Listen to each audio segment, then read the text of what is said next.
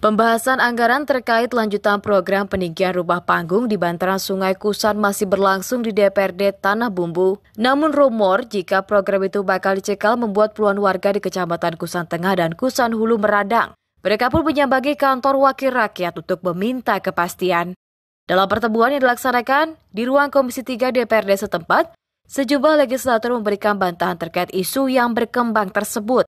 Wakil Ketua DPRD Said Ismail Khalil Alidrus didampingi anggota dewan lainnya menegaskan penganggaran program itu masih dalam pembahasan anggaran APBD perubahan 2023. Sehingga wakil rakyat meminta masyarakat di bantaran Sungai Kusan untuk tidak cemas dan menelan mentah rumor yang berkembang adanya penjagalan anggaran peninggian rumah. Pihaknya hanya ingin memastikan jika program ini berjalan sesuai dengan harapan dan tidak ada penyelewengan di lapangan. Program strategis yang dicanangkan oleh Pak Bupati dari pemerintah daerah dan itu sudah berjalan di uh, anggaran sebelumnya, hmm. itu masyarakat minta dilanjutkan.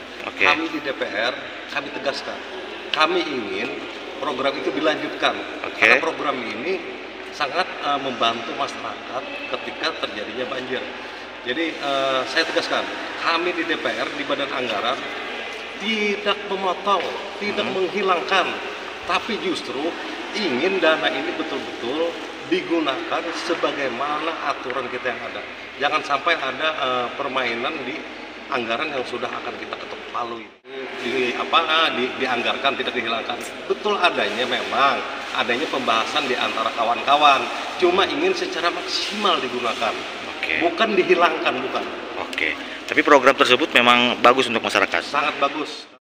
Sementara puluhan warga yang menyambangi DPRD mengaku lega atas penjelasan dan bantahan upaya penghapusan anggaran program kelanjutan peninggian rumah ini. Mereka sangat berharap proyek tetap berlanjut sehingga warga yang belum tersentuh bisa merasakan manfaatnya. Bahwasanya di desa kami yang sangat kami butuhkan warga-warga desa Satiyok itu adalah pengangkatan rumah tersebut. Hmm. Dan ada sebagian perehapan rumah. Okay. Dan selama ini begitu adanya adanya pencekalan isu mm -hmm. rumor-rumor yang berbeda yang beredar yang ya? beredar disampaikan di tempat desa kami makanya kami datang oke ingin datang memastikan ya memastikan mm -hmm. ke kantor aspirasi tersebut oke nah dan kami sangat terima kasih bahwa kami luar biasa disambut baik mm -hmm.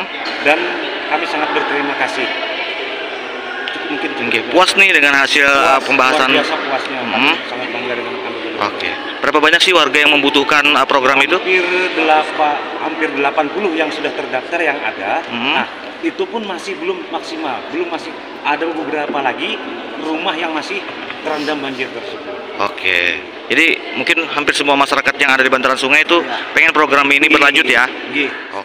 Sebelumnya pemerintah kabupaten telah merealisasikan program peninggian rumah terhadap ratusan rumah panggung milik warga di bantaran Sungai Kusan di Kecamatan Kusan Hulu Teluk Kepayang dan sebagian Kusan Tengah sejak 2022 dan 2023.